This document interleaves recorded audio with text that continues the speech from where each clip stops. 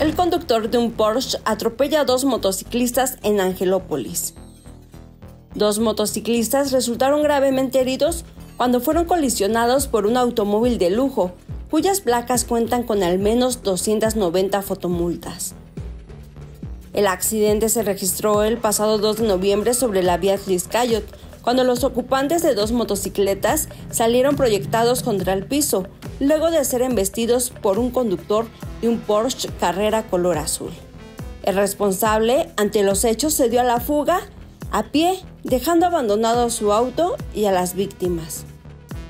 Al lugar llegaron elementos de la Secretaría de Seguridad Pública Estatal, quienes tomaron conocimiento de lo ocurrido, acordonaron la zona y resguardaron las unidades involucradas. ¿Qué sabemos del agresor? La unidad de lujo pertenecería a Juan Carlos N., un cardiólogo del Instituto Cardiovascular de Puebla. Además, en una consulta de las placas al sistema de fotomultas en Puebla, se encontró que esta tiene 290 fotomultas, principalmente por exceso de velocidad.